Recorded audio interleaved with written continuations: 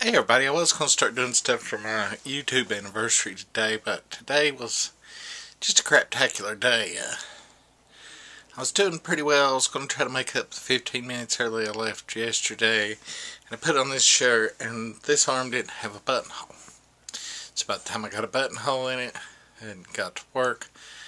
I got there right on time, but still, yeah, no way to make up any time.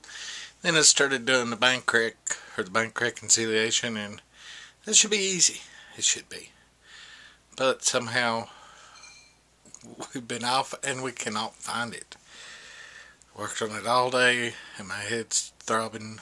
So tomorrow, even if my head's throbbing, I will do something because it's weekend and I can kind of just veg out afterwards. But today, not so much. Sorry. We'll see y'all later. Bye.